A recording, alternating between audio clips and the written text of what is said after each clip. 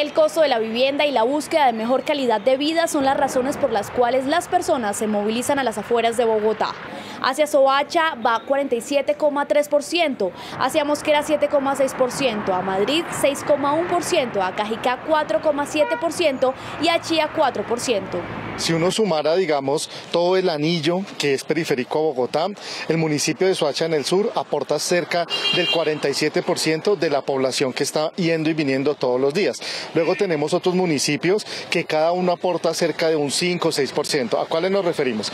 Al eje occidental, como el caso de Mosquera, y la conurbación que ella ha creado con Funza. La movilidad constante de estas personas implica mayor uso de corredores viales como las autopistas sur y norte y la calle 13 al occidente. Algunas de ellas suman un poco más de un millón de, habitantes que se desplazan hacia la zona céntrica y hacia Chapinero.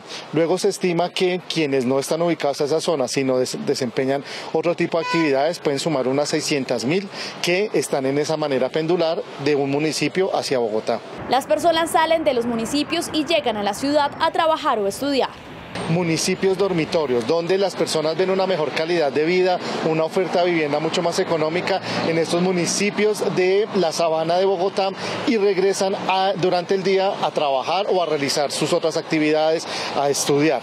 Estas cifras del censo poblacional indican que Bogotá es la principal ciudad con movilizaciones a municipios aledaños de la capital.